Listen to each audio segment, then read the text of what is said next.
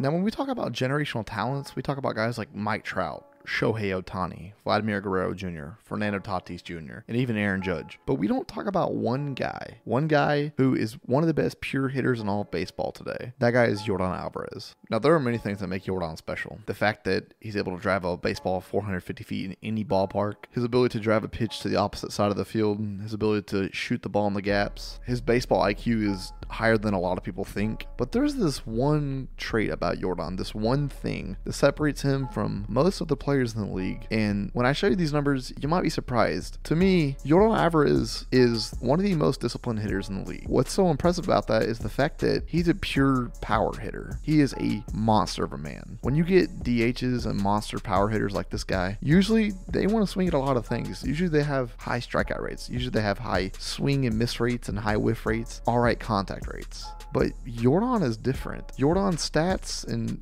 Baseball Savant show exactly just how good he is. I'm gonna put this on the screen for you right now so you can see and understand exactly what I'm talking about. Now, to make my point and drive it home, I pulled four of probably the best hitters in the game today Vladimir Guerrero Jr., Aaron Judge, Shohei Ohtani, and Mike Trout. K rate, chase rate, and whiff rate. These are the three stats that to me show exactly just how patient and great Yordan is at seeing balls and understanding exactly what to do with them and what he's looking for. Now, looking at these numbers, you'll see that Yordan has the lowest K rate out of all of them. Look at these numbers, you'll see that Yordan has the second lowest chase rate out of all these guys. And look at these numbers, you'll see that Yordan has the second lowest whiff rate out of all these guys. And who is the only guy that's above him? Who is the only guy on this list that has better numbers than Yordan in these departments? And that, sir, is one generational talent in Mike Trout. That's right, Mike Trout, who may become the best baseball player of all time. Yordan Alvarez is only trailing him in chase rate and whiff rate. And if that's not enough for you, these aren't career stats. These are just for this year. If you pull up career stats, they get even more shocking. Now, looking at the numbers over a career time for these guys, you see that Yordan Alvarez has a lower K rate than all but Vladimir Guerrero Jr. and Mike Trout. If you look at chase rate, Yordan has a lower chase rate than everybody else but Mike Trout and Aaron Judge. And my favorite stat besides K rate is whiff rate. If you look at the whiff rate, Yordan has a lower whiff rate than everybody else on this list except for one Mike Trout. So I think it's just so ridiculous that